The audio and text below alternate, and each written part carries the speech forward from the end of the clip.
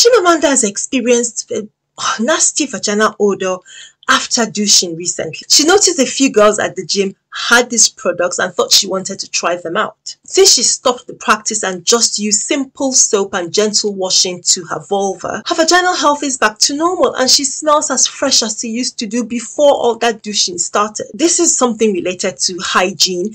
Many women believe that um, douching is a way of cleaning and freshening the vagina. The thing is, if you're trying excessively to clean your, va your vagina, you might strip it of the protective vagina flora or lactobacilli, which increases your risk of infections that can cause a smelly discharge. So the vagina can clean itself. It doesn't need any extra help from any fragranced or special care products. Symptoms can include the odor, the discharge, and irritation. Extra washing every couple of hours can strip away the vaginal flora or using, using harsh soaps and chemicals will do the same. Treatment is washing the external part of your genitals, that is the vulva, with mild soap and clean warm water.